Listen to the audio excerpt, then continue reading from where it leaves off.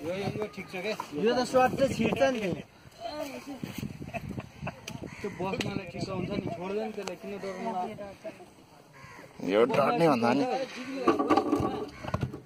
ल ल मलाई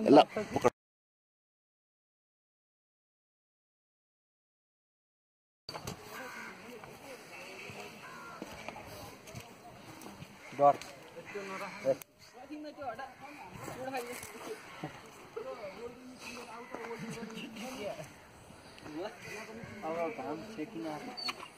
म पनि छु यता ल खै सोमरी नि देखियो प्लस हामीहरूको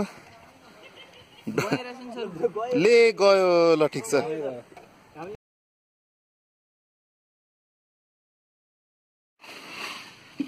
यो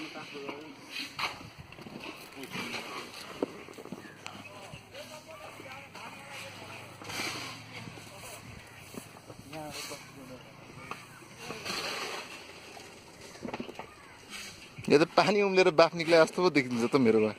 काठ बला जस्तो देखिँदैन यहाँ यहाँ त्यस्तो देखियो क्या?